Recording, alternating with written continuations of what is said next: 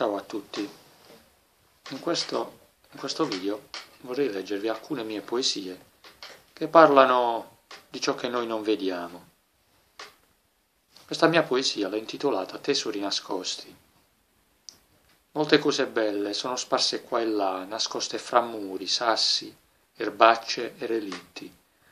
Veri tesori preziosi, come il nostro corpo nasconde nel profondo il nostro spirito che anima il mondo.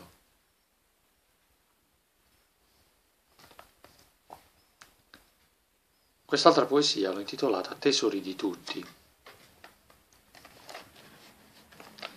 Mi ingozzo e mi ubriaco di tesori abbandonati, come tanti si ingozzano di sogni deprezzati. Ma i miei tesori sono anche vostri, sono di tutti. È bene aprire gli occhi per ascoltare il sibilo eccelso dell'infinito sibilante, note creative che tutti i viventi vuole modellare, che dentro ognuno vive, vive. Quest'altra mia poesia l'ho intitolata Illusioni. 300.000 km al secondo. Ma chi ha inventato il secondo?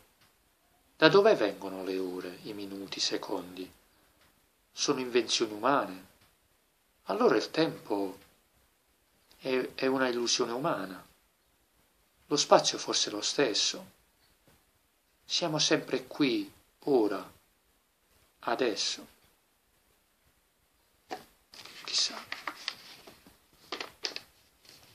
Quest'altra mia poesia l'ho intitolata Sfondi di eternità.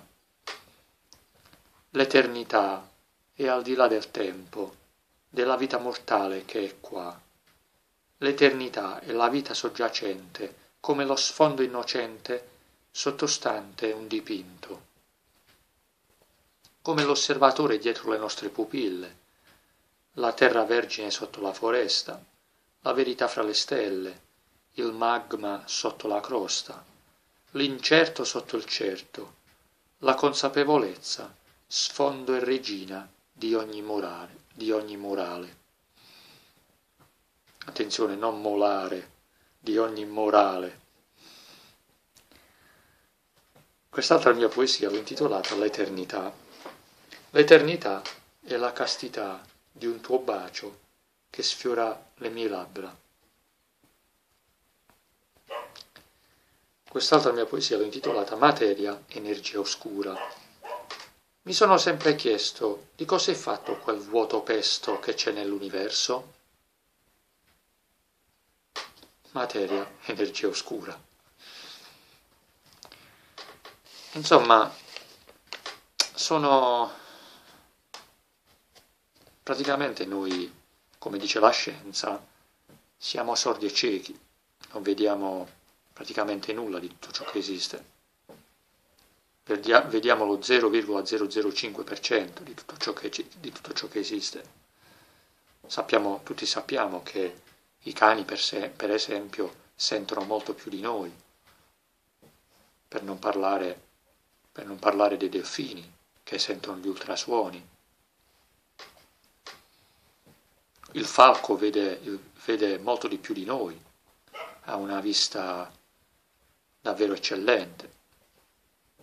Però ci sono cose, esistono cose che neanche gli animali vedono e sentono. Esiste un mondo che neanche gli animali vedono, vedono e sentono. Un mondo che al di là dello spazio e del tempo di, della dimensione spazio-temporale nella quale viviamo, è il mondo dell'inconscio, il mondo, il mondo dell'eternità, della vita eterna, del regno di Dio. Infatti in questa poesia io dico l'eternità è al di là del tempo, della vita mortale che è qua. L'eternità è la, è la vita soggiacente come lo sfondo innocente sottostante un dipinto. Sotto alla, alla nostra dimensione spazio-temporale c'è l'eternità, soggiace l'eternità, solo che noi non, non la vediamo. possiamo, possiamo solo percepirla in meditazione, a occhi chiusi in meditazione, nel, uh, nell'adesso, nell'adesso, nel qui adesso perfetto, come ho detto nell'altro mio video intitolato Poesie quantistiche. Solo essendo qui adesso possiamo avere a occhi chiusi in meditazione, escludendo quindi la mente, la mente che ci porta sempre ovunque, ci fa pensare, ci porta nel futuro, nel passato, ci porta in altri posti, ci fa vagare sempre. Dobbiamo, come si fa con la televisione, spegnere la mente, rimanere qui in meditazione adesso. Solo così possiamo percepire l'eternità, l'eternità del qui e ora. Perché la spiritualità orientale dice che l'eternità è il qui e ora. E probabilmente Gesù, con, regno, con, con la definizione regno di Dio, intendeva proprio, proprio questo, il qui e ora.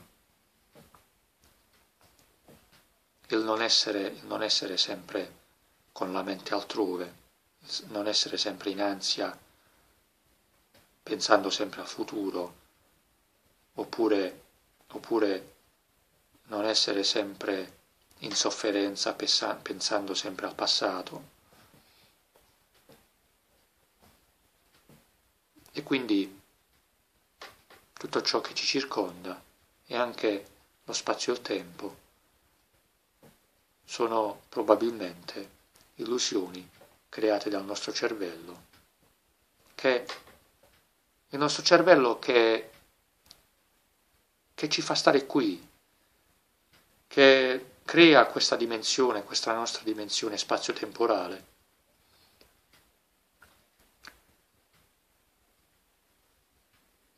Che, che poi ha, che comunque ha una fine, non è eterna, e che finisce quando noi, quando il cervello si spegne, noi moriamo. Ma, ma dentro di noi il nostro spirito rimane, perché il nostro spirito, lo spirito che ci anima, fa parte del mondo, del, del mondo dell'inconscio, fa parte dell'eternità, è parte di Dio, è da sempre, non conosce né spazio né tempo, è da sempre.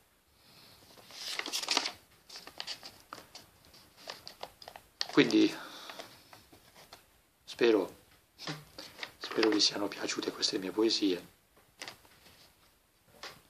Credo siano, siano cose belle queste, cose, cose che valgono per tutti, che, che ci possono ben unire. Nessuno può dire che queste cose non esistono, perché la scienza, la scienza le sta confermando. La, la fisica della, della meccanica quantistica piano piano sta scoprendo tutte queste cose. Quindi io vi ringrazio e, e vi do appuntamento alla prossima puntata. A presto, ciao.